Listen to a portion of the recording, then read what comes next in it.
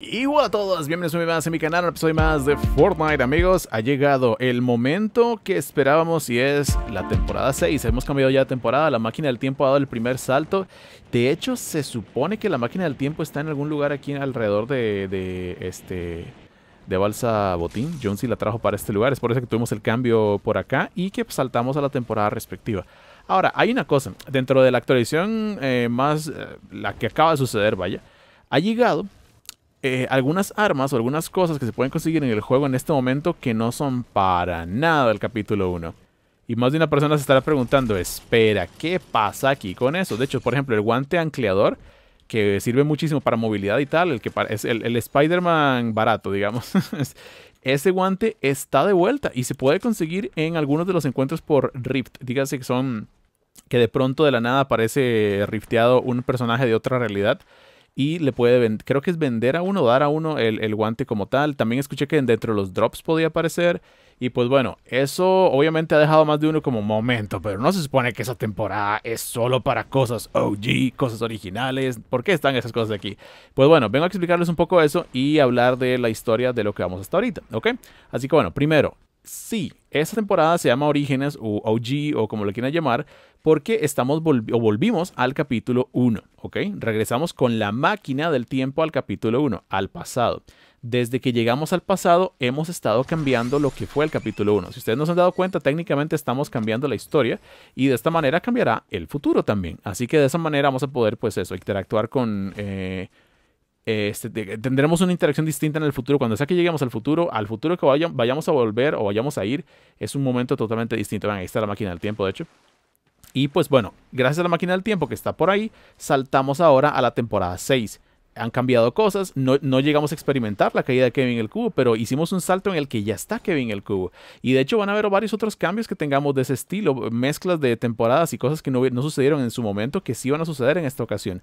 De hecho, hay un nuevo audio de Sloan justo aquí, a la par de la máquina del tiempo, y para quien quiera venir a escucharlo, vengan por acá, justo aquí en esta parte donde está. Ese es el segundo audio. Ojo que el primer audio era en Parque Placentero, pero parece que ya no es accesible el primer audio, así que si ustedes no lo escuchan a tiempo dentro de cuando sucede, y es lo que tengo que decir. Pero bueno, escuchemos el, audio de Sloan. Jones, soy Sloan. Siento que ya hice esto antes, así que digamos que sí. A menos que sea un déjà vu. Bien, volviste por un motivo. Y eres lo suficientemente inteligente para averiguarlo. Y no es para cambiar el futuro, así que olvídate de esa fantasía. Esto es una extracción, y tú estás al frente. No puedes dudar de tu deber, Jones. El mundo que dejas es uno de muchos. Y hay más mundos de los que te imaginas. Que siga así. Cumple con tu deber. Así que bueno, Sloan de hecho directamente nos ha hecho mención de lo que les estoy diciendo. No para cambiar el futuro estamos de vuelta en el pasado. A ver, tengo que decirles, un buen amigo mío eh, Optimus Prime, una vez nos dijo en el capítulo 4 eh, temporada 3, creo que fue, eh, cuando llegó a la jungla, el futuro, el, perdón, la clave del futuro yace en el pasado. Y claramente Optimus Prime sabe de lo que está hablando. Por algo estamos aquí. Por algo Sloan Jones nos trajo aquí con la máquina del tiempo. Por algo está pasando todo lo que está pasando. Y si se dieron cuenta además al inicio de esa grabación, Dice, creo que esto ya lo hice anteriormente. O sea, Sloan misma no se está dando cuenta del salto en el tiempo que hubo. Siente el déjà vu, obviamente, pero claramente estamos empezando a alterar el espacio-tiempo y la historia de lo que fue el pasado de Fortnite. Así que evidentemente lo que les digo ya no solo es una teoría, es una realidad que cómo vaya a pasar, que qué vaya a cambiar, que no lo sé. De hecho, esto perfectamente podría hacer que cambie la historia de, por ejemplo, la parte del cromo, que en, la que consumieron a todos los siete y así devolvieron volvieron los siete en el capítulo 5, algo por el estilo.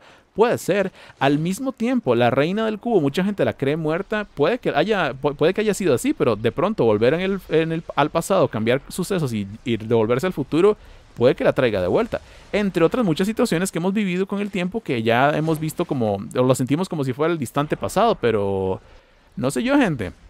Esto claramente se está eh, moviendo muy fuertemente hacia hacer justamente lo que les dije al inicio. Estamos en un viaje del tiempo en el que estamos cambiando la historia y estaremos saltando parte por parte, ocasión por ocasión, cada vez que la máquina del tiempo la movamos, porque vamos a tener un recorrido por el tiempo y físicamente por el mapa y un cambio tras otro que vamos a estar produciendo en la historia del capítulo 1. ¿Cómo afectará eso al capítulo 5 cuando lleguemos al final, en el siguiente mes? No lo sé, pero eso ya lo descubriremos después. La próxima semana tenemos otro cambio más, el próximo jueves. Eh, este nos llevará a las temporadas 7 y 8 mezcladas, lo que sobra decir, eso nunca pasó, así que ya estamos viendo más sucesos todavía y parte de los sucesos justifican justamente al ancleador porque al empezar a, destruir o, inestabilizar la línea temporal, empiezan a haber rifts temporales, que son los que aparecen en el mapa actualmente. Uno puede encontrarse con uno de estos al azar, no hay una manera directa de buscarlos, así por si acaso. Y esto, de esa manera uno puede conseguir, como les digo, el guante ancleador. Y de hecho, de esa manera nos vamos a poder encontrar otras muchas cosas. Las espadas, las katanas, los martillos que hemos tenido en el capítulo 4. Y no solo eso, también, por ejemplo, las motos, vamos a poder verlas y demás, que son cosas del capítulo 4 plus y evidentemente no son cosas del capítulo 1, pero ¿qué harían aquí? Ya ven a lo que quiero llegar. Nos cuento con más, próximo episodio y en el futuro. Bye bye.